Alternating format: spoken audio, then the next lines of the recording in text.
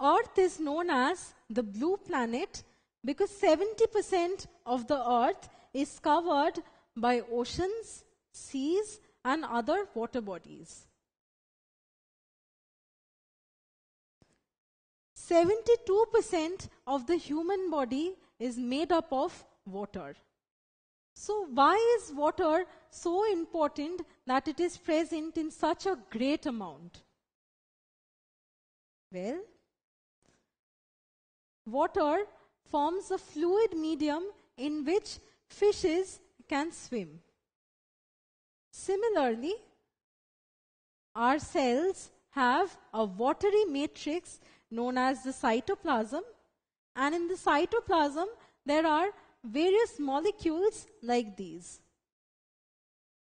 Now, interactions of these molecules are of utmost importance for the proper functioning of the cells. If these interactions cease to happen, it indicates a dead cell. This interaction between the molecules that is present in the cytoplasm is known as cytoplasmic reactions.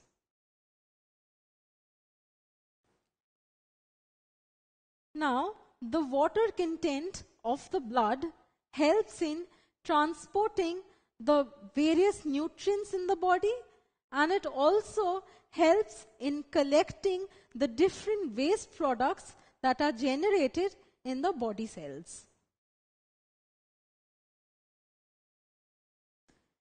When you squeeze an orange, the skin of the orange looks wrinkled and flaccid. Similarly, when we sweat a lot, this is what our cells look like. But before sweating, our cells look swollen or turgid like this.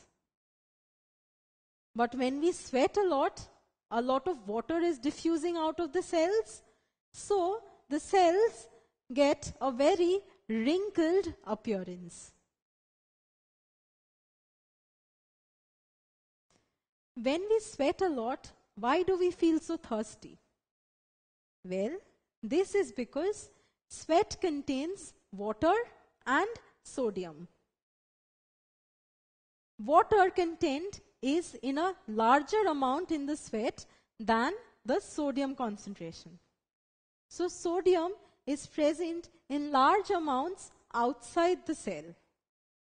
And these sodium pull out the water from inside the cells, causing dehydration of the cell.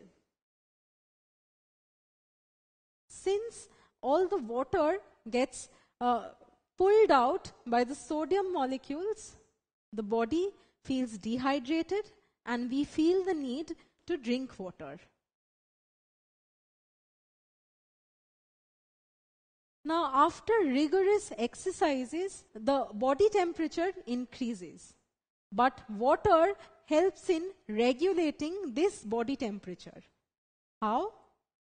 Well, when we do rigorous exercises like running, we sweat a lot, and sweat contains a lot of water in it. So while sweating, we are losing a lot of water from the body.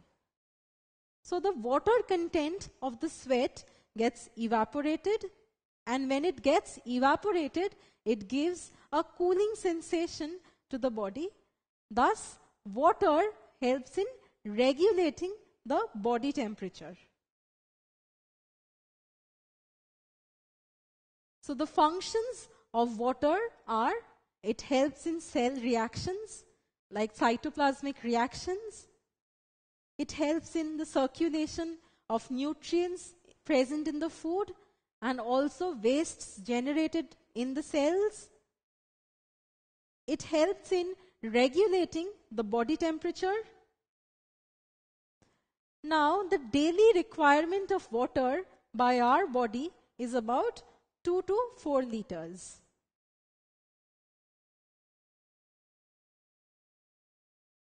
So, water is a very essential component of our life. water is needed by all the body cells to uh, function efficiently. So, water is very important for all living organisms. If there is no water, life will cease to exist. So, let us save water and then we will be able to save life.